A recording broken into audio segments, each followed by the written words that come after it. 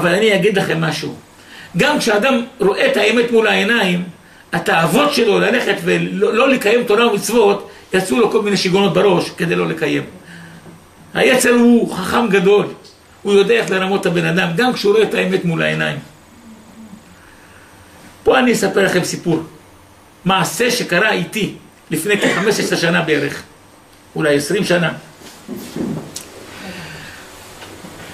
אני החזרתי בתשובה, אז בן אדם אחד, שהיום הוא גדול מחזירי התשובה באירופה, בצרפתית. אחד מהגדולים שם. אז הוא היה צעיר, החזרתי אותו בתשובה, אני גם חיתנתי אותו.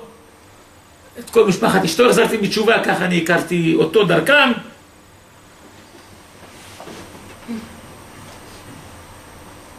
אמו, וכמובן גם דודותיו, האחיות של אמו, הן נכדות למקובל גדול בירושלים שהיה כאן לפני למעלה ממאה שנים. הם כולם עזבו את הדת, חניכי מדינת ישראל, הם אה, למדו בבית ספר חילוניים, ואתם יודעים מה החבר עושה לחבר, ואחד מוציא את השני מהדת, השני את השלישי, הם עזבו את הדת, הלכו לחוץ לארץ, וכל אחד גר שמה רחוק. הדודה שלו גרה באמריקה. אז באמריקה היה אחד גורו, קראו לו בבג'י, גורו אמריקאי, קראו לו בבג'י, שהוא טען שהוא נולד, הוא הוריד את עצמו בתוך מערה ושהוא אלוהים ושהוא הכל יכול.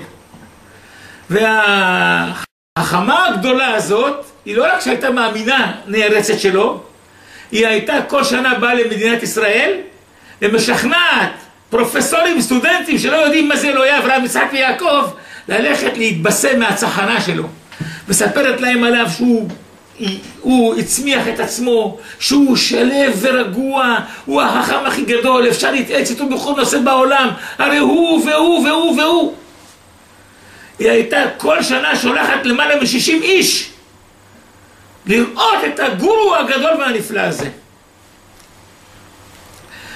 היא באה אליי, אחרי שעשיתי איתה, את, אה, ת, לא תחרות, התערבות. היא שמעה עליי מבן אחותה, שסיפר עליי שאני ואני ואני, וכנגדה היא יש לה את הגורו. בשיחת טלפון אמרתי לה בואי ניפגש. אני אשכנע אותך שהוא זירו. אם לא, אני מוכן לנסוע לראות אותו. אתה תהיה מוכן לנסוע לראות אותו? כן.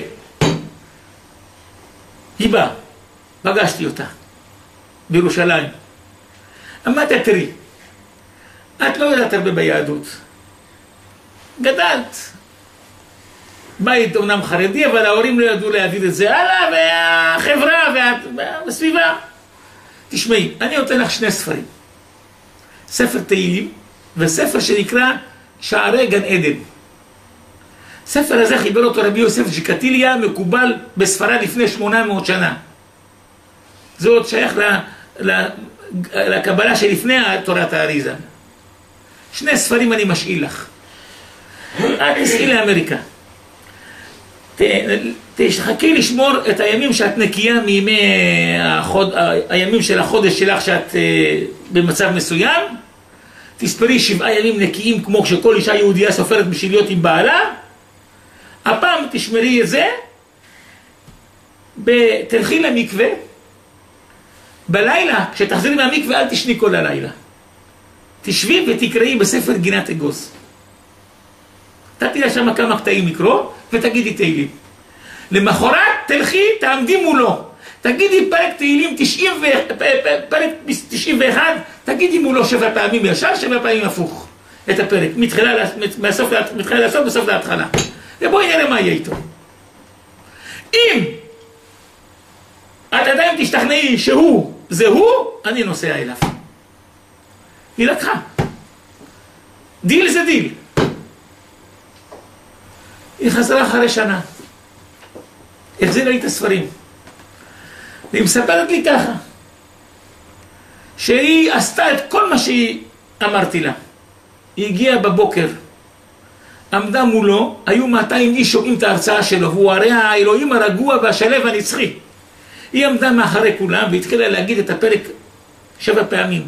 היא לא הספיקה להגיד שפעמיים, הוא פתאום התרתח, חטף עצבים וצעק עליה, מה את עושה שם? את מבלבלת אותי. תעופי החוצה. היא ראתה שהאלוהים הרגוע הנצחי מתעצבן וחוטף עצבים ומתבלבל. היא אמרה, אני אנסה את זה למחרת. למחרת היא התגנבה ועמדה מאחריו במקום שהוא לא ראה אותה, לא ראה, לא ראה אותה והיא אמרה את זה שבע פעמים ישר והפוך, הוא נפל ומת.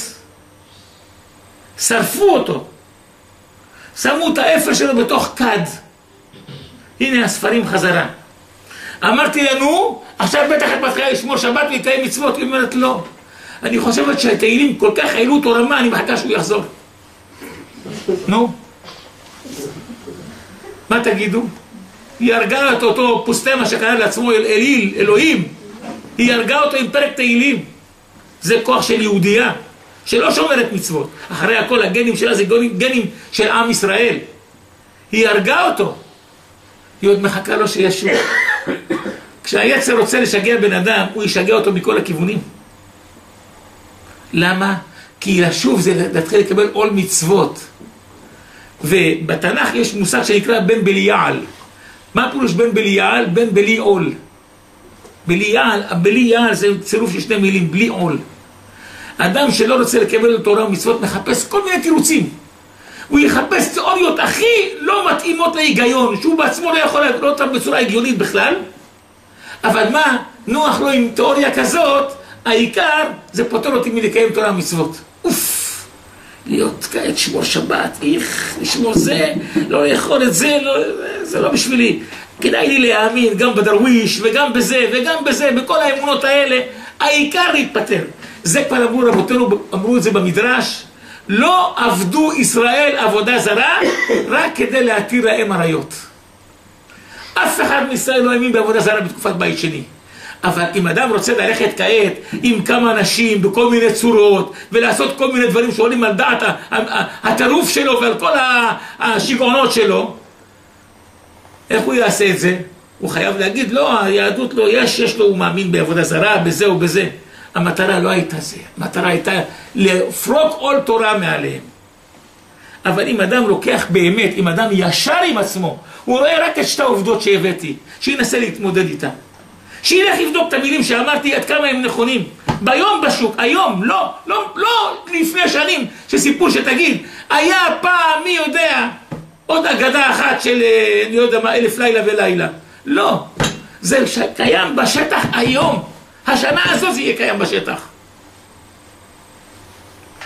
אין הרבה מה לבדוק. לראות מול העיניים דבר שנכתב לפני 2500 שנה, נכתב לפני 3500 שנה בסיני, אבל לפחות יש לנו נייר כתוב ממנו, קלף כתוב ממנו לפני 2500 שנה. והדברים מתקיימים מול העיניים. בואו נראה מה אומר ישעיהו הנביא. ומה עומד מול העיניים שלנו? ישעיהו הנביא גם כן לפני 2500 שנה. והיה ביום ההוא יוסיף אדוני שנית ידו לקנות את שאר עמו אשר יישאר מאשור וממצרים ומפטרוס ומכוש ומאלם ומשנער ומחמת ומאיי הים זאת אומרת הקדוש ברוך הוא ייקח אותם וישיב אותם לארץ אחרי אלפיים שנה לא שנה, שנתיים שעוד זוכרים את הארץ. הוי ארץ סלסל כנפיים אשר מעבר לנערי כוש. הוא מדבר על אותם יהודים שמעבר לנערי כוש. איזה סוג יהודים אלה? לכו מלאכים קלים אל גוי ממושך ומורת. אל עם נורא מנהו והלאה. גוי קבקב ומבוסה אשר בזעו נערים ארצו. מי שיודע את ההיסטוריה של יהודי אתיופיה הוא יודע שעד לפני 400 שנה היה, הייתה להם מלכות. עד לפני 900 אה, אה, שנה בערך, 800 שנה, הם היו כולם שומרים תורה ומצוות כמו היהודים בבני ברק. אולי אפילו יותר טוב. אלדד הדני כשהגיע בתקופת הגאונים, לפני למעלה מאלף שנה, הוא הגיע, ל, ל, הוא סיפר שהוא משבט דן, והם שם מחולקים בשני שבטים, דן ואשר, והוא הוא אמר את כל ההלכות בלי להכיר את התלמוד, בלי להכיר כלום, בשם יהושע. אמר משה, אמר יהושע מפי הגבורה. והתחיל להגיד הלכות, את כל ההלכות, הוא היה יודע שחיטה, יודע את הכל, הכל אמר כמו ההלכות שבידינו. ושני הלכות הוא שינה, שאלו את הגאון מה הוא אומר, הוא אומר כנראה בגלל הסבל שהוא עבר, אולי הוא טעה בשתי ההלכות. אבל שאר ההלכות כולם היו כמותנו. זה היה אלדד הדני, זה סיפור ידוע, אתם יכולים לפתוח את הערך שלו בגוגל, אלדד הדני, ותמצאו את כל ההיסטוריה שלו. לפני 700 שנה עמד להם שמה באתיופיה אחד גוי בשם עמדה ציון וכבש את המלכות של מלך ישראל שהיה שמה, של המלך של היהודים, ושרף להם את כל הספרי תורה ואת כל התפילין והמזוזות, והפך אותם מידע גדול לבורים ועמי הארץ, אשר לא ידעו. מה שהם ידעו הם שמרו, מה שלא ידעו כבר לא שמרו, והיהדות, המתכונת ההלכתית של, היהוד, של היהדות ירדה מהם. הוא הרג את הרבנים שלהם, הוא כמעשה השמיד אותם. חלק גדול מהם זה הפל השמורה, זה מאותה תקופה שהם התנצרו בעקבות אה, ההכרח, אה, ההכרח שהכריח אותם. אז חלק שלא עמדו מול הלחץ, הם עשו את הטעות הזאת, אבל לא התחתנו עם, עם גויים אחרים, ולכן גם אותם הכשירו אחר כך לבוא בקהל ישראל. בכל אופן, אני עבדתי עם האתיופים, אני כתבתי עליהם ספר גדול, אני יודע לזהות את חלק אשר ואת חלק דן, יש הבדל ביניהם בפנים. כל חבל של סמין זה שייך לבני אשר. וכל החלק השני שייך ל... ל... לבני דן. הם ניכרים, רואים אותם, רואים את ההבדלים ביניהם. בכל אופן הם שני שבטים שלנו. לפני, עד לפני 350 שנה היה להם מלך, ואז היה שמו שאול, זה היה המלך האחרון שלהם. רדאי או שאול, אחד משני השמות האלה, ואז את מלכי אתיופיה הם הצליחו למגר אותו לגמרי ולהביא אותם למצב שהם הפכו להיות גולים, מנודים, שבויים, בזויים אשר בזעו נערים ארצו, גוי ממושך ומורת, מעבר לנערי כוש. הוא אומר שהם יבואו. עכשיו הוא מספר גם כן שעוד יבואו, שיבואו עוד מכאן ושם, אתם תראו פה. אולי פה יש יותר מעדה אחת או שניים, אבל עם ישראל כעת מורכב מהמאות עדות, מכל המקומות בעולם. מגיעים, מגיעים, מתחילים לבוא, מה שאף אחד לא ציפה שזה יהיה אחרי אלפיים שנה, אם לא הנבואה של התורה ודברי ישעיהו הנביא. אבל הוא כותב איך הם יבואו האתיופים, איך יבואו אלה שגרים בארצות רחוקות. ישעיהו הנביא לפני 2500 שנה, הוא רואה בנבואה את המטוסים, מורידים אותם בשדה התעופה לוד, את האתיופים. הוא רואה את מבצע משה, איך האתיופים יורדים במטוסים, והוא כותב, מי אלה כאב תעופנה וחיונים אל ארובותיהם? הוא שואל, מי הם אלה שיבואו כאב? הם עפים, כמו יונים שבאים אל הארובות שלהם, הם חוזרים לארץ ישראל, מעבר לנערי כוש. כל אתיופי שעובר היום פה, תשאלו אותו אם הוא הגיע לכאן עם חמור, או אם הגיע עם סירה, או אם הגיע כאב תעופנה כיונים אל ארובותיהם. ישעיהו הנביא לפני 2500 שנה מדבר על תעופה שקהל עצום, לא אחד שעשה לו כנפיים, אני לא יודע, מפלסטיק והגיע, על קהל עצום, עם שלם, מדובר בעשרות אלפים, שיושבים מעבר לנערי כוש, מגיעים לארץ ישראל עם מטוסים, נוחתים בארץ ישראל. מי אלה כאב תעופנה וחיונים אל ארובותיהם? זה ניבא אותו הדרוויש, הקוף של דרווין? מי ניבא אותו את זה אם לא אלוהי ישראל? אם זה לא מוכיח את האמונה של הנבואה האלוהית, אז מה כן מוכיח? הדברים נראים מול העיניים. אתה רואה את הדברים מתגשמים מול העיניים אחרי 2,500 שנה. זה לא נבואה שאומרת היום, שיגיד לך, תחכה בוא נראה מתי יהיה, נחיה ונראה. זה נבואות שנכתבו, ספר ישעיהו מלפני אלפיים שנה נמצא בבחירה הספר שלם עם הפסוקים האלה. לא כתב אותם כעת מישהו בסתר אחרי שהאחים רייט גילו את התעופה. לא. זה נכתב, יש לנו אותו כתוב בדיו מלפני אלפיים שנה לפחות. וישעיהו אמר את הדברים לפני אלפיים חמש מאות שנה בשם השם. והדברים קיימים מוחשיים מול העיניים שלנו מתגשמים. מי יכול לבוא ולהגיד אחרי דברים כאלה, לשאול שאלות אם תורת ישראל אמת, אם התנ"ך אמת? רק מי שמחפש לעצמו להיות בלי יעל, בלי עול. מי שרוצה לפרוק יחפש כל מיני תירוצים. אבל מי שבאמת רוצה להכיר את האמת, מי שאדם ישר עם עצמו, ידע שמשה אמת ותורתו אמת ועם ישראל אמת בדרכו, בדרך התורה. ואף רוח לא תזיז אותו מזה. אלה הם הדברים פחות או יותר. כעת נבוא לעוד איזה נקודה או שתיים. אספר לכם קודם כל סיפור מעניין שהיה איתי. כשאני הייתי צעיר, גם זה היה פעם, והייתי בסביבות גיל ה-25, כבר היה לי תלמידים, אני לימדתי אותם בירושלים, ואהבתי לחקור את כל הדברים, את כל הפרפסיכולוגיה וכל הנושאים שמסביב, אהבתי לחקור אותם ולהשוות אותם אל היהדות. הייתה לי נטייה לזה מילדות. ב... בסביבות, אה, כן, בסביבות שנת אה, תש"ל, תש"ל זה כמה? זה 40 שנה. 43 שנים. אני ראיתי מודעה בירושלים על דוקטור בלק שמגיע מלונדון לבית הסטודנט. והוא מפגין את הכוחות המיסטיים שלו, הרוחניים שלו. הוא מקבל מעשרה הראשונים חפץ, מניח אותו על השולחן, מניחים את זה על השולחן, הוא לא רואה מי וזה, הוא מוגיע אחרי ששמים את זה על השולחן, והוא יגיד לכל אחד על החפץ שלו, מהרגע שזה נוצר החפץ, כל מי שהיה בעלים של החפץ.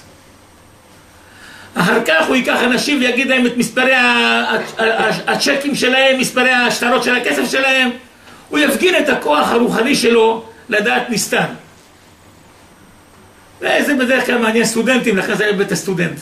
ראיתי מודעה כזאת, אמרתי, אני רוצה לבדוק משהו ביהדות לפי הבן אדם הזה. מעניין אותי.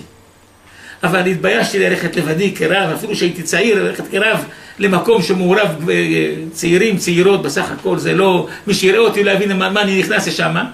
אמרתי לתלמיד שלי, בוא איתי. ניכנס, רק נעשה את העניין שלנו ואחר כך נצא מיד, לא נשאר שם. אמי, עליה השלום, נפטרה שנה קודם.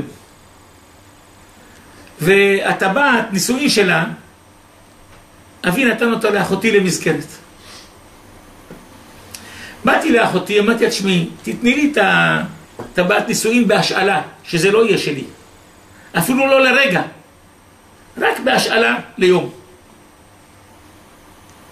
נתנה לי. לקחתי אותו למקווה. הטבלתי אותו במקווה.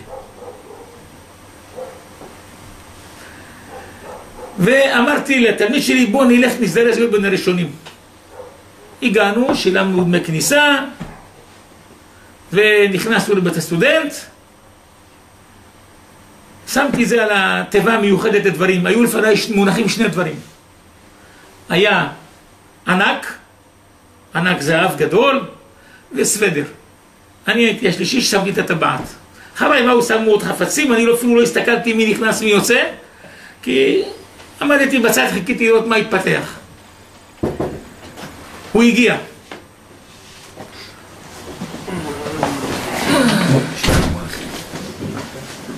הוא הגיע. הוא הגיע לבמה והתחיל מיד. לקח את הענק. תפס את הענק ביד שלו, לעיני כולם. הוא מסתכל על הענק מכל הכיוונים, עוצם את העיניים, איזה דקה, דקה וחצי, ככה, לא הרבה, והתחיל לדבר. הענק הזה הביאה אותו לכאן בחורה, שיער אסוף, גבוהה, רזה, פנים מוארכות. היא קיבלה איזה מתנה מהחבר שלה שהוא איש צבא במדים. הוא קיבל את זה מהחברה הקודמת שלו שהייתה נראית כך וכך. הוא לא הספיק לסיים, ראינו מה שנקרא בערבית סינימה בלש, סרט בחינם.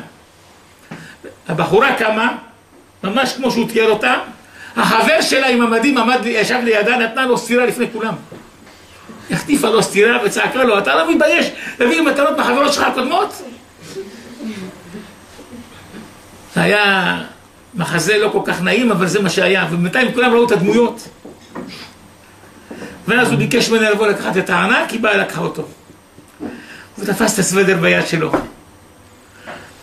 הוא גם כן עצם את העיניים, הסתכל על הסוודר, בדק אותו, עצם את העיניים, כשהוא אוחז את זה, ממשש את זה, אחרי דקה וחצי, שתי דקות התחיל להגיד, את זה הביאה לי כאן בחורה שמנמונת. שיער קרה.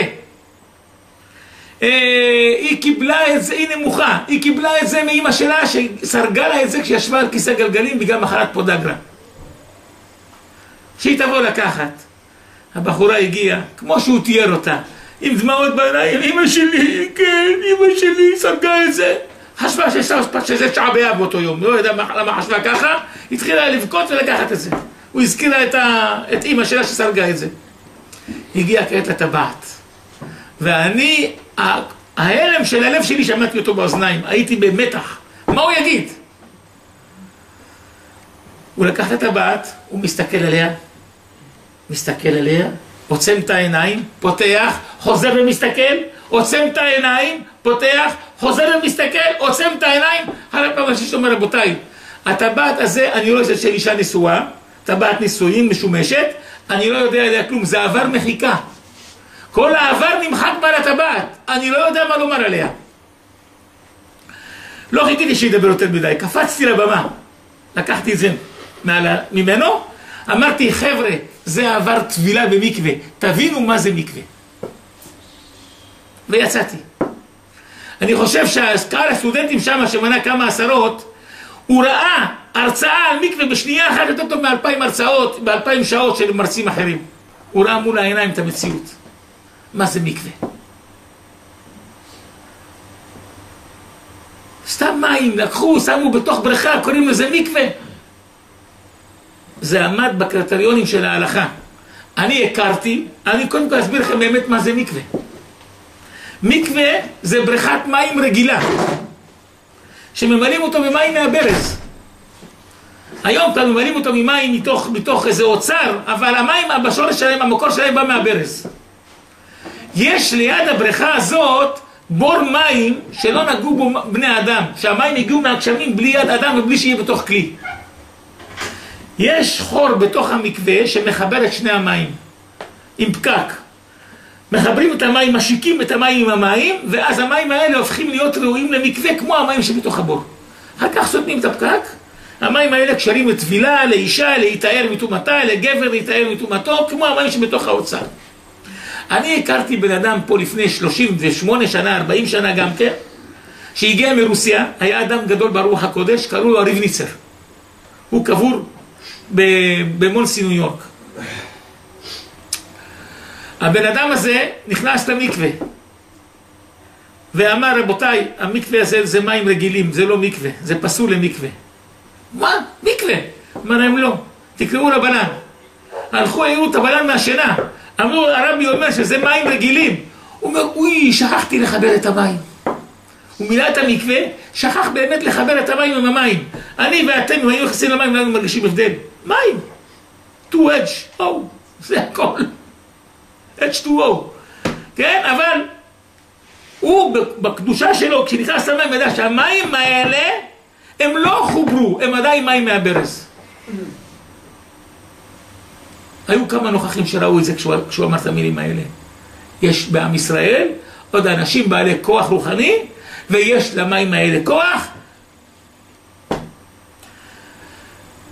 לפני גם כן כ-30-40 שנה, החליטו קבוצה אחת לחפש את מרכבות פרעה וחילו. והלכו בעקבות המקרא, והבינו שהר סיני נמצא, חייב להימצא בסעודיה, והלכו לפי כל תווי המקרא, והגיעו להשערה שנואבה זה המקום שבו ישראל חצו את הים. אחרי מחקרים מצאו באמת שני עמודים, אחד בסעודיה ואחד בצד של חצי האי סיני, שכתוב שם ששלמה המלך העמיד וכותב שפה ישראל חצו את הים, זה מעברות הים. עוד נשתמרו על עמודי הגרנית, נשתמרו עוד השמות, פרעה, מצרים, משה, שם השם, ים, מצרים. קבוצת מדענים אמריקאית החליטה, החליטה לרדת למצולות ולחפש את מרכבות פרעה. יש לכם ביוטיוב את הסרט שנקרא יציאת מצרים. אפשר לפתוח אותו לראות אותם שהם צוללים. אנשי מדע צוללים, ומצאו שם בתוך הים את מרכבות פרעה, את חילו, גם כן מצאו. בתוך אלמוגים מצאו להם את העצמות של המצרים עם ירך שלהם, מצאו גלגלי זהב של פרעה עצמו ושרים שלו, מצאו גלגלים אחרים, וכולם היום מתועדים, אתם יכולים אותם ביוטיוב, הנה יש לי פה חלק מהתמונות שלהם,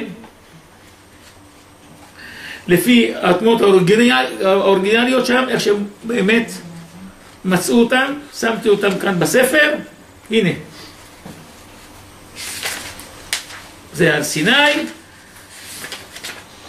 הנה מרכבות פרעה, הנה עמודי הגרנית שנמצאים שם, שמעידים על המקום, והנה גלגלי פרעה שמצאו אותם, כולל גלגלי הזהב גם כן, הנה זה אלה גלגלי זהב ממרכבות פרעה ושרף עצמו שמצאו שמה, הנה העצמות שמצאו בתוך מכוסים אלמוגים, כולל ירחיים, של חיל פרעה שטבעו בים, הלכו בעקבות ככה גם כן. הם מצאו גם כן את האבן שהיכה משה ויצאו ממנו מים. מצאו אותו, זה נמצא בחורב, מצאו בחורב, הנה הוא, יש לו כאן בקיאה כמו מכת לייזר שבקעה אותו לשניים, את הסלע, ורואים פה שכבות של אדמה כמו שמים עברו עליהם בגלים. מי שרוצה למצוא את האמת, מוצא את האמת. מי שרוצה לחפש איכשהו לפרוק עול, יחפש תירוצים לכל דבר. אבל האמת מבצבצת מהשורות וצועקת, אני כאן. בזה אני מסיים את, ה... את ההרצאה שלי, ואני מוכן כעת לשמוע שאלות אם יש לכם בנידון או בנושאים אחרים, אני פה. הכתובים שדיברת עליהם, שזה ספר ויקרא, נו? איך אתה יודע שזה לפני 2,500 שנה? מצאו אותם במערות מלפני אלפיים שנה. עם, עם המוסמכים, המטבעות של אותה תקופה, מצאו יחד איתם מטבעות של אותה תקופה, מצאו, באות, מצאו יחד עם זה את האיגרות עם התאריכים של אותה תקופה. מצאו בנחל חבר יחד עם הספרי ויקרא גם כן איגרות עם אותה תקופה, עם חתימתו של בר כוכבא, 15 איגרות שבר כוכבא מאותה תקופה כותב וחותם עליהן.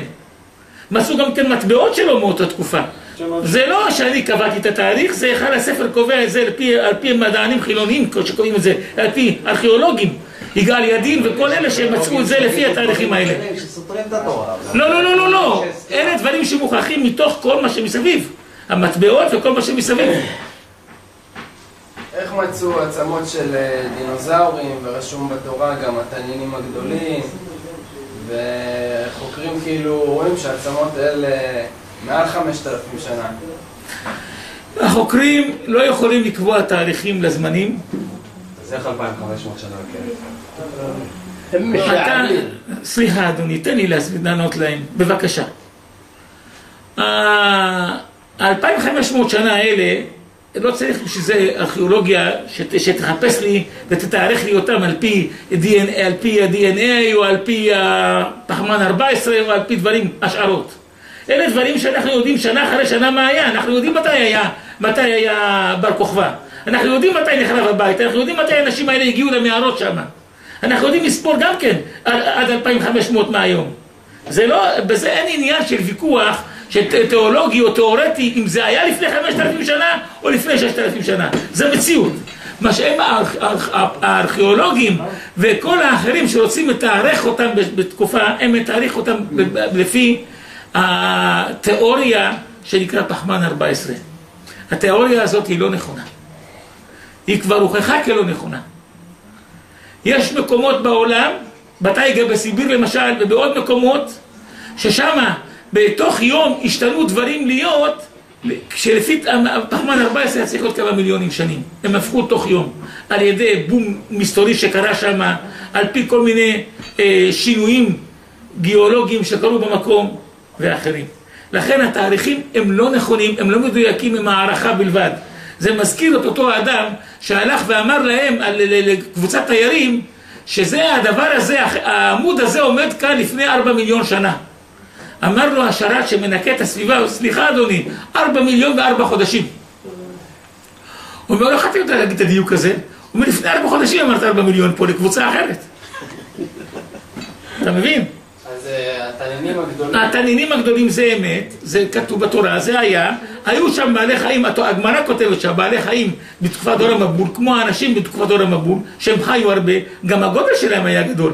אני כתבתי על זה בספר שער יוסף, אתה יכול לקבל את הספר מניר, שם אני מציין את כל המקומות שמעידים על עצמם, כל דרום אמריקה וכל, אה, וכל אה, אה, הסביבות של המזרח התיכון מעידים על ניאולטים, על דברים גדולים, על חפצים ענקיים ששימשו בני אדם גדולים, מעידים על כל מיני אה, דברים שנעשו בגדול, בפרט בדרום אמריקה ובוליביה, את כל הדברים האלה כולם, וכל הדברים האלה הם אה, מתועדים.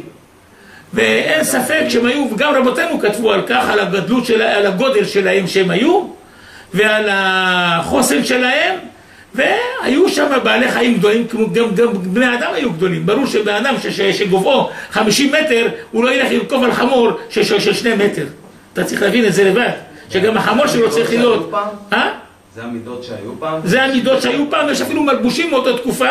אתה יכול למצוא את זה לא רק בתורת ישראל, בתורת ישראל דיברו על כך, אבל בספר שער יוסף, אני מביא את כל הדברים האלה ממקורות חילוניים, ומצמיד לזה גם כן את דברי התלמוד והמדרש על הדברים האלה. תוכל למצוא שם את הדברים האלה בהרחבה, כולל התיוג של פחמון 14. אני יותר שאלתי מה. אני עכשיו מסתכל בטלסקופ, כן, רואה מלא כוכבים, כן, מלא גלקסיות, נכון. מיליארדים. אתה קבעת מיליארדים. אבל מה נו, הלבנה? רגע, אתה קובע מיליארדים, לא, נו. גם מה אומרת מיליארדים, לא? המדע גם, אה, הרבה הרבה. מאוד מסכימים על זה. נו, המדע לא נכון במאה אחוז, אני מסכים. לא, לא, יכול להיות מיליארדים, זה לא סותר שום דבר, אז מה יש? בסדר, אז תשמע את השאלה. נו, איך הגיוני שרק בכדור הארץ, מכל המיליארדי כוכבים, הקדוש ברוך הוא רצה שחיים רק פה. הוא לא רצה בעוד... אה, והוא אה, בחר בעם קטן מתוך כל... לא, הגלקסיה? למה-? כל המעטפת הענקית הזאת? בשביל ככה. בשביל... בשביל כדור כדור. ה... עם כזה קטן בתוך הכדור הכזה קטן. למה לעשות את כל המעט... למה לא... למה לא רק? למה אתה לא חוזר, למה אתה חוזר ארבע פעמים על אותה שאלה? אני נראה לך שלא שמעתי פעם אוקיי. ראשונה פעם אחת. תן לי את הקרדיט ששמעתי אותך פעם ראשונה. טוב. מה שאתה מדבר, כבר דיבר על כל זה אליהו הנביא בעצמו. יש לנו מאמר מאליהו הנביא בעצמו, שנכתב בספר הזוהר, שנקרא תיקוני זוהר, בתיקון השישי. אנחנו מאמינים שהספר הזה נכתב בידי רבי שמעון בן יוחאי בעצמו לפני 1800 שנה, כפי מה שהוא קיבל מאליהו. יש שאומרים שהזוהר בסך הכל בן אלף שנים, שכתב אותו משה דיליאון, ו- והוא כתב את זה, וכביכול בשם של אליהו. לא משנה לי מי כתב את זה, אנחנו מאמינים שזה רבי שמעון, ופה אני גם כן בשער יוסף, יש לי מאמר שלם על כך שמוכיח שזה רבי שמעון ולא משה דיליאון. כתבתי על זה, כתבתי, הבאתי כאן את כל המרצים החילונים שדיברו על זה, תשבי ואחרים. כתבתי על זה, אתה יכול לקרוא כאן מה שכתוב, אני לא צריך לחזור פעמיים. בכל אופן, אליהו הנביא כותב את הדברים האלה. ואני זוכר שלפני שה... שניל אמסטרוג צעד על הירח בשבוע, ישבתי עם התלמידים ואמרו לי, כעת תמצאו על הירח בני אדם. פתחתי להם את ספר תיקוני הזוהר, את הסידור למעשה, זה מופיע, בכל סידור מופיע הקטע הזה שנקרא פתח אליהו, והראיתי להם שכתוב שם מפורש, הוא ברא את השמיה והרע. זה בארמית, הוא ברא את השמיים והארץ. וכוכבים שמה, וכולם בשביל העולם הזה, בשביל עם ישראל שבעולם הזה, ואין באף אחד מהם בני אדם, רק פה. הוא מדבר על מערכת השמש אבל, לא על כל היקום. רגע, רגע, רגע. כשאני בא כעת ואומר לך שקיבלנו תורה, שהתורה הזאת הוכחה כבר, שני דברים מתוכם מוכחים מפורש מאותו ספר תורה שמשה הביא את ספר ויקרא הוא גם הביא את בראשית. ושם הוא מתאר את בריאת האדם ואת העולם, ושכל העולם בשביל האדם.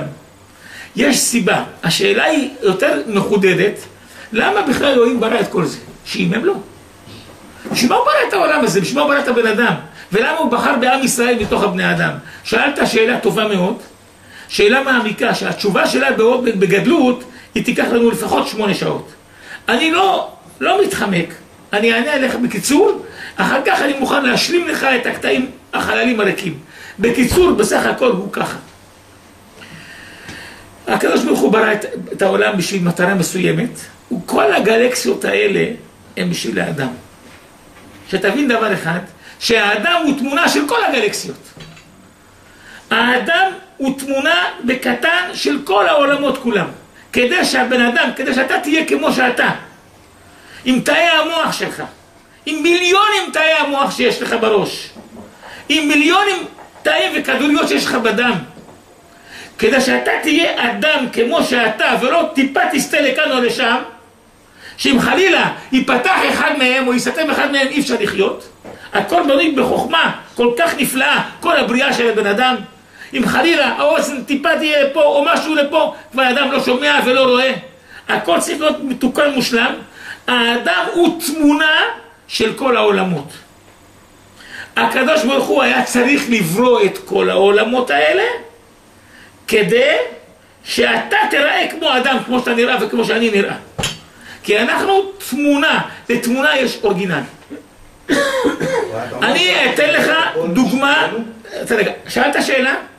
אז למה אתה מפריע לעצמך לקבל את התשובה? אני יכול לתת לך תמונה, היום אפשר לתת לך תמונה קטנה כהבנה לכך. אם אתה תלך כעת באינטרנט, תפתח אותו, וחפש תמונת משה רבנו.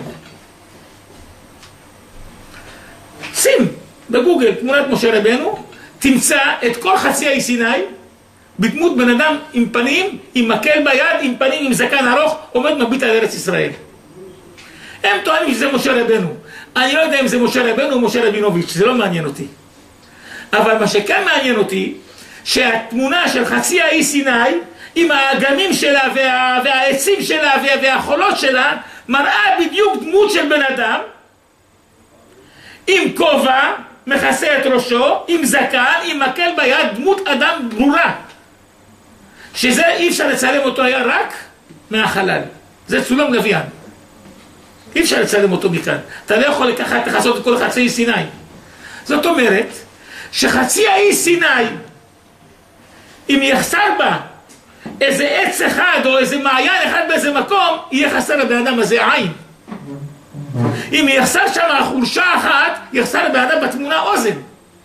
כי אם כל התמונה של כל חצי האי סיני היא דמות אדם אחד, שיושב לך בתוך הגוגל אצלך, בתוך עשר סנטימטר על עשר סנטימטר, ואתה רואה דמות, תמונה, כמו שאתה רואה את התמונה שלך מצולמת, ואתה רואה אדם ממש. והאדם הזה כולל את כל אברי האדם, אתה לא רואה אותו מסתתר, אתה רואה אותו עם פנים, עם, עם אוזן, עם שני אוזניים, אני לא יודע כמה אוזניים, שם לא בדקתי אם זה רק אחד או שניים, אם זה בצד אני לא זוכר, בכל אופן הוא נראה ברור כאדם. אם יחסר משהו בחצי אי סיני, כולו, הוא לא יראה תמונה של אדם.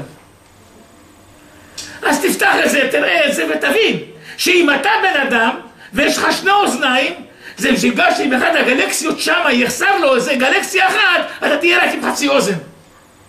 כי גם אתה תמונה, כמו שהתמונה של כל חצי האי סיני נותנת תמונה של אדם אחד, התמונה של כל העולמות נותנת תמונה של האדם פה. זה מה שהתורה אומרת, שנעשה אדם בצלמנו כדמותנו. מה זה בצלמנו? לאלוהים אין צלם. הוא לא גשמי שיהיה לו צלם ודמות. אומר רש"י, בצלם העשוי לנו. אלוהים ברא קודם כל את כל העולמות, את האדם בסוף. האדם זה סוף הבריאה. אחרי שהוא ברא את הכל, את כל הגלקסיות, עם כל הנערות ושבילי החלב וכל מה שיש שם, הוא העתיק תמונה אחת מכולם בקטן ויצא בן אדם. אז כמו שאם תלך כאן בחצי שנה תגיד, בשביל מה יש פה כזה חולשה גדולה? אולי אני אגלח אותה מכאן? אולי אני באמת אסתום פה את, ה, את הנהר שיש כאן? אתה, אם אתה עושה את זה, אתה פוגם בתמונה הגדולה. מי שבנה את התמונה לא ייתן לך לעשות את זה. אתה פתאום תראה כל מיני עצים שיפריעו לך, אתה אולי תוכל להוריד כמה עצים, אבל לא תוכל להוריד שם את כל היער, אם יש בכלל יער שם. אתה לא תוכל את כל התמונה שם לשנות. כי אתה משחק עם תמונה, שאחר כך יצאו מהלוויין, יהיו בן אדם חצי עין במקום עין שלמה. אז כשכתוב בצלמנו כדמותנו, זה צלם של כל העולמות.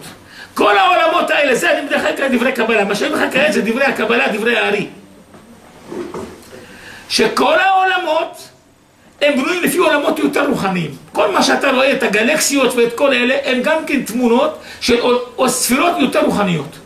זה התגשמות, זה מערכת של דרגות שמתגשמת מרוחני רוחני ועד גשמי גשמי. מגדול גדול ועד קטן קטן. כשאתה כעת, אני רואה אותך, אני נדמה לי שאתה כעת איזה מטר שבעים בשוק, בסביבות. ואני נדמה לי שאתה גם כן עם בשר ועם דם ובכל זאת אתה נראה לי כבן אדם.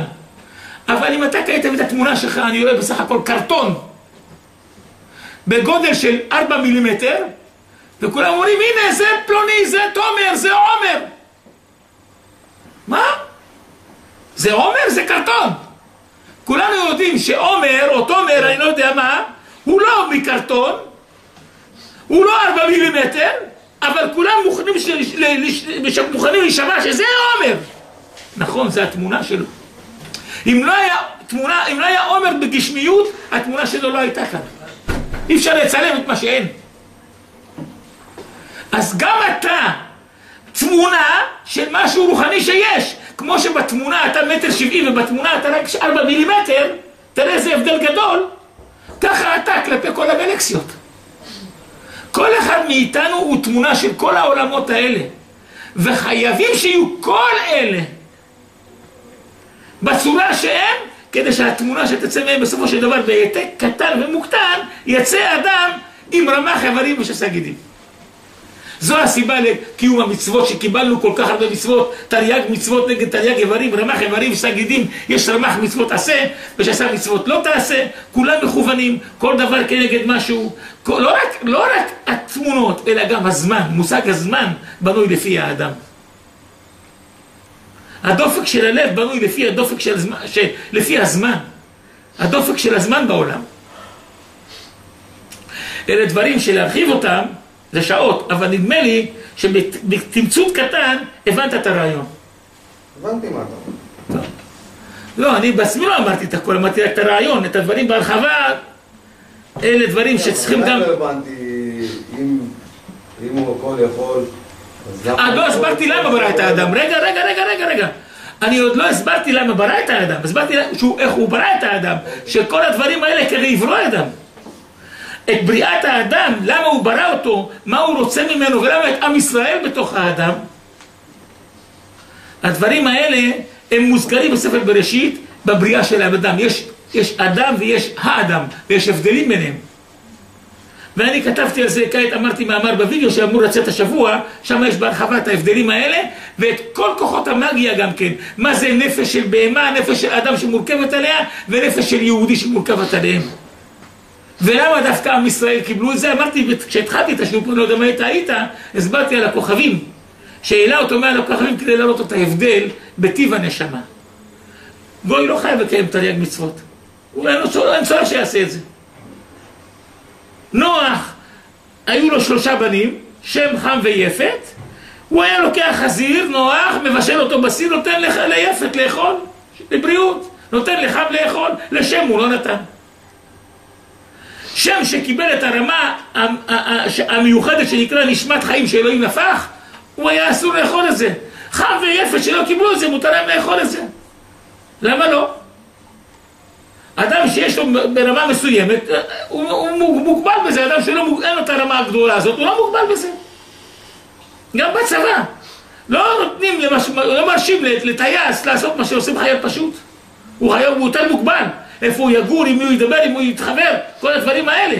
חצי המדינה בידיים שלו. כשהוא במטוס יושב. לפי הגדלות שלו, יש, יש, יש עליו יותר אה, חובות, יותר דברים ששאל אותם לאדם מהשוק. הדברים האלה כולם נעשו גם כן כפסולת של נשמות, עם נשמות, אלה דברים שאי אפשר להסביר אותם, אני לא למדתי אותם בשעתיים כדי שאני אוכל להסביר אותם בחמש דקות. זה לימוד ארוך, התשובות קיימות, הרעיון, הנקודה המרכזית היא שאלוהים, שהוא חכם כל כך גדול, שברא את הבן אדם בחוכמה כל כך גדולה, ברור שהוא לא, דיבר אותה, לא ברא אותה בגלל ששעמם לו, אלא למטרה מסוימת.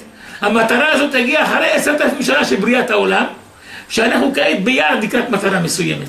כולנו כעת מתחלפים. אתה לא הבן אדם שהיית פעם קודמת, אתה היית בעולם הזה כמה פעמים. כבר היית בגלגול נשמות. אתה כעת חזרת עוד הפעם, אבל אתה לא אותו אדם שחזר בשלמות. אתה תרכובת ששני בני אדם שמתו, שמשניהם הפכו לנפש אחת שזה אתה. וככה זה ממשיך להתגלגל עוד ועוד, עד שיגיע היום שזה ייפסק, ואז תתקבל התמונה המושלמת. יכול להיות שהייתי בעל חיים בגלגול הקודם? גם יכול להיות. אני גם דברים כאלה נתקלתי וראיתי. אני עובד הרבה בנושא של גלגול נשמות מהילדות שלי, מהצעירות שלי. אני הגעתי לזה בצורה מאוד מאוד מדהימה. ומאז אני, איך אומרים? אני נמכרתי לזה. אני הייתי בחור רגיל, בגיל 17, למדתי בישיבה, אבל אה, בשבתות הייתי אוהב לשחק כדורגל. אני גדלתי אצל הסבא שלי שהיה אדם גדול מאוד, כתבתי על זה בספר שלי תולדות מנחם את כל הסיפור, בקצרה. שבת הוא היה הולך לתת דרש- דרשות, הייתי מנצל את ההזדמנות, אני הולך לשחק קצת שעה, שעתיים עם החברים, קצת בכדור. ויום אחד הוא תפס אותי, באמצע המשחק. הוא לא העיר לי כלום, אני בש- בשביל הכבוד שלו הורדתי את הכדור, הלכתי איתו הביתה, הוא רק אמר לי שבת, מילה אחת, הורדתי את זה, הלכתי איתו, באותו שבוע הוא שלח אותי ל... הוא יום אחד קרא לי, אמר לי, הבוקר אתה הולך לישיבה, תחזור בצהריים. אני צריך לשלוח אותך לבן אדם מסוים ביפו. לבן אדם הזה קראו פטילון. זה יהודי מסלוניקי, שהיה במקצועות צייר. לציורים שלו הוא זכה לקבל פרס גדול בפריז, אבל הוא לא הלך לקחת את זה. זה לא עניין אותו. היו, היה לו ציורים בעלי שיעור קומה. בכל אופן, הבן אדם הזה היה ידוע כצדיק גדול ורואה נסתרות. מאלה שנקראים ל"ו צדיקים נסתרים. אני לא הכרתי אותו אישית עד אז, שמעתי עליו הרבה מהמשפחה ולא הכרתי אותו. הוא כתב מכתב ונותן לי אותו ואומר לי לך תיתן אותו לפטילון ותחכה לתשובה. הוא ידע שאני סקרן והוא פחד שאני אכתוב, אפתח את המכתב ויסתכל מה כתוב שם. הוא לא שמח עליי. אני לא עשיתי את זה, אבל הוא בכל אופן פחד מזה. הוא כתב את המכתב בטורקית. השפה, שפת הדיבור שלנו הייתה ספרדית, אבל הוא כתב את זה בטורקית שאני לא אבין. רק אחר כך נודע לי שהוא כתב שמה, הנכד שלי מתקלקל, תטפל בו. את זה לא ידעתי. לקחתי את המכתב, הגעתי בצהריים, בסביבות שתיים, שתיים ורבע הגעתי ליפו. הגעתי לבית שלו, הבית שלו היה בתוך אה, חצר יפואית של פעם, זה היה בתים חד קומתיים עם חצר ענקית, לא מרוצפת. כשנכנסתי לח... לח... לכיוון הבית שלו, בחצר ראיתי שם חתולים, ברבורים, תרנגולים. לא התייחסתי. נכנסתי לבית שלו, ראיתי אותו ליד ספה, הבאתי לו את המכתב. הוא ראה את זה, הוא אמר בוא תשב לידי, התחיל לדבר איתי. התחיל לספר לי סיפורים על גלגולים, של בני האדם, של כל מיני דברים.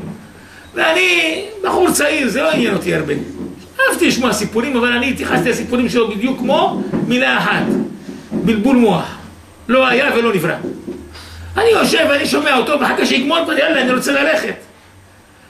פתאום נכנס החתול. בתוך הבית.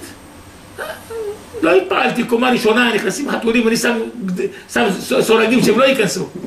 ושם רשתות. נכנסה. היא עמדה מולו והתקראה לי הלל. לא מה, תלכי תבואי בעוד חצי שעה. היא יצאה.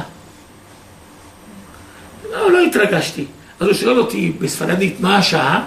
אני מסתכל על השעון, היה לי שעון, אני אומר לו, שלוש בדיוק. טוב, הוא המשיך לספר לי סיפורים, מדבר איתי, מדבר איתי מן הון להון, פתאום החתול נכנסה שנית.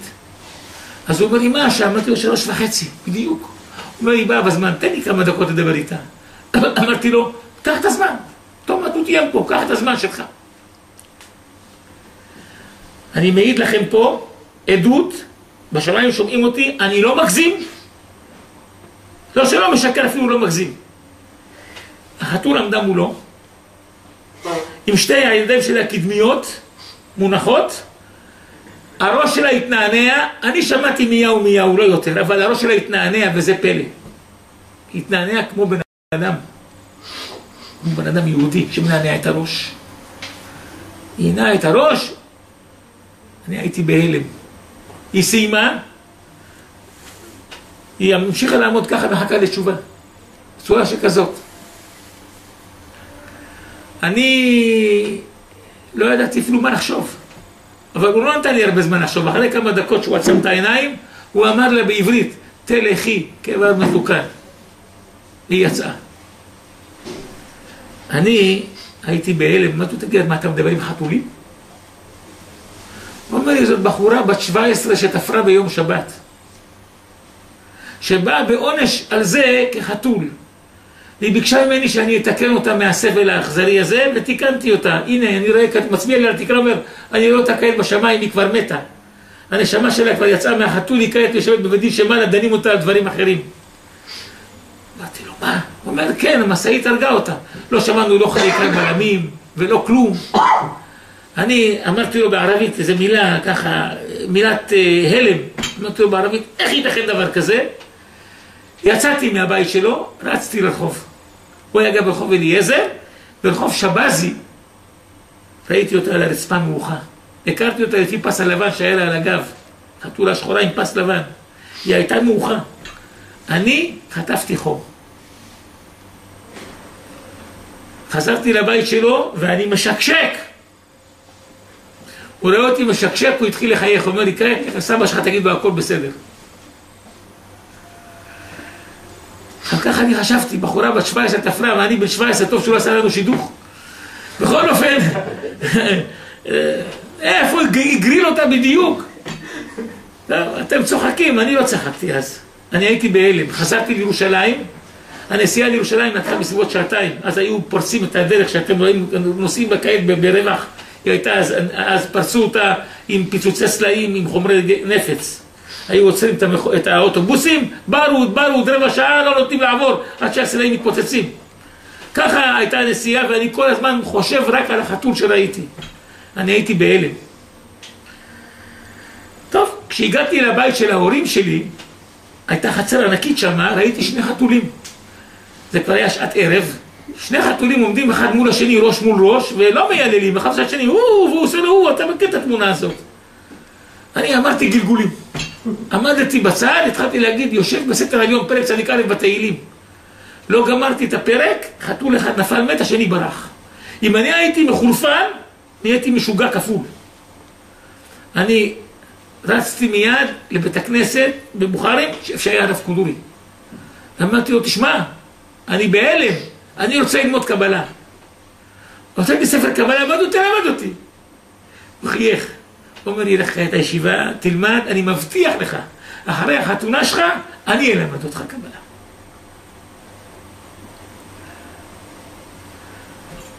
מאז נכנסתי באמת ללימודים רציניים, מי ראה יותר כדור בחיים שלו מאז?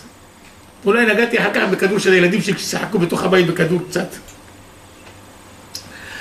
ישבתי, למדתי ברצינות, אחרי שהתחתנתי הגעתי לרב כדורי, ישבתי איתו, הוא לימד אותי, הוא נתן לי אפילו הסכמה על ספר קבלה שכתבתי. יש לי איזה מודפס עם ההסכמה שלו בכתב ידו. זה התחיל משם. ככה אני הגעתי לתמונות של גלגולי נשמות.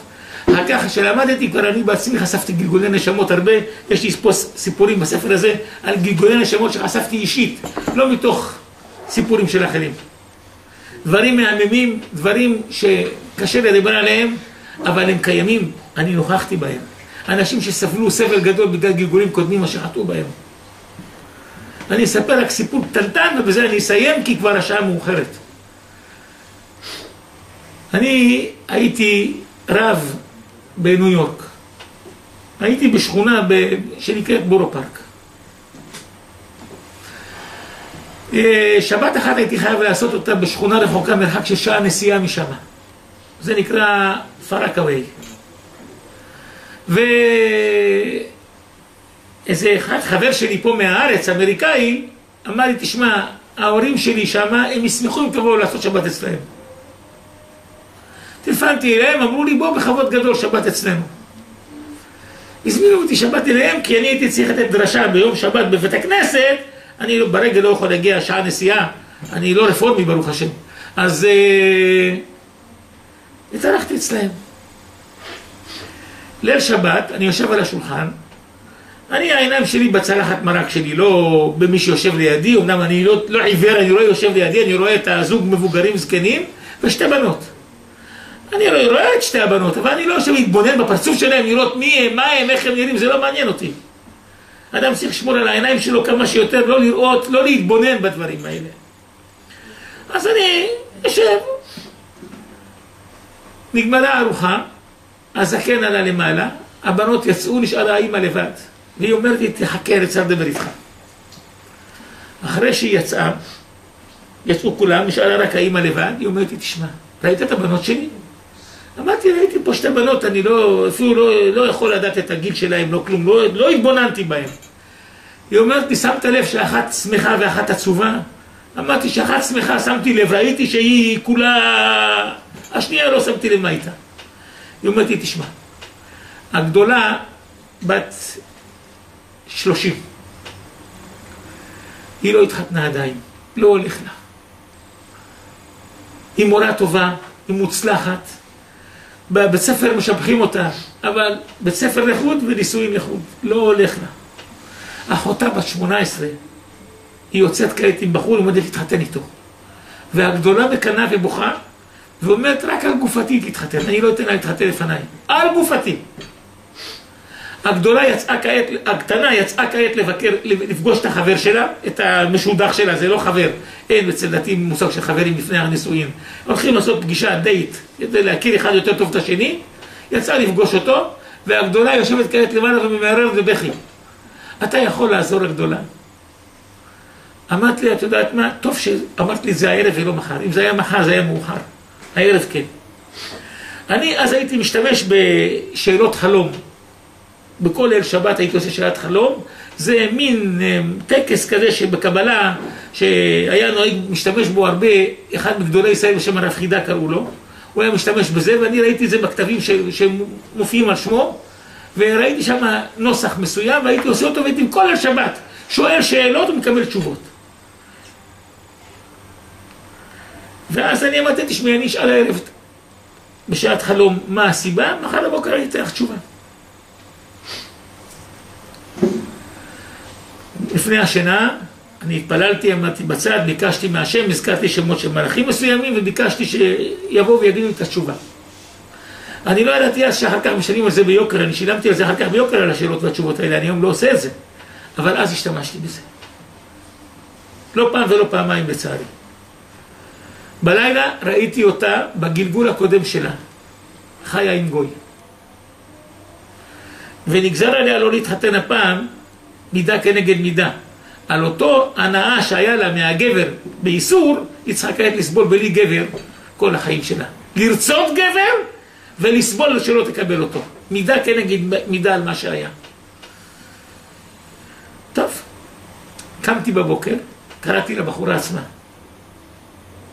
אמרתי לה, בואי, אני רוצה לדבר איתך. אמרתי לה, תראי, אמא שלך כך וכך אמרה לי, אני בדקתי, יש לה חטא של גוי ביד, את צריכה לתקן אותו.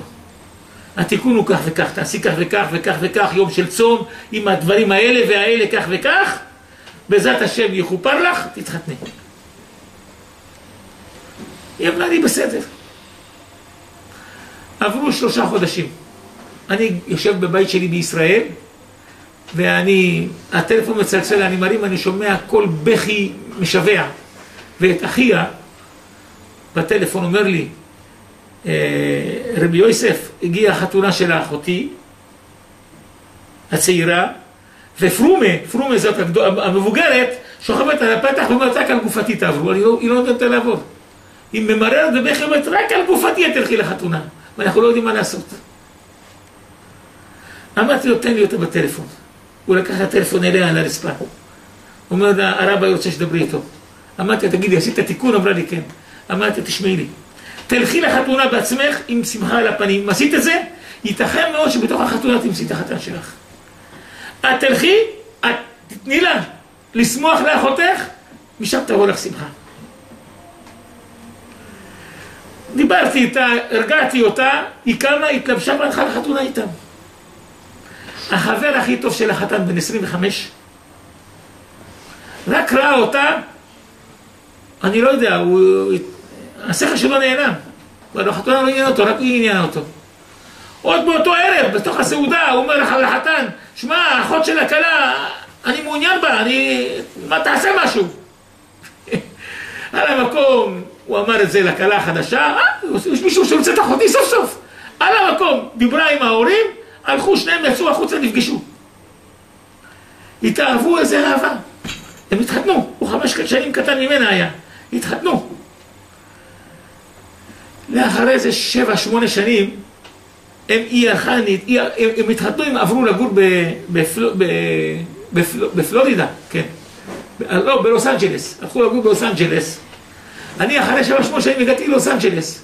הם באו לקבל את פניי מהמטוס. היא באה עם בעלה, עם איזה ארבעה, חמישה ילדים כמו מדרגות, ככה, פיצקלח.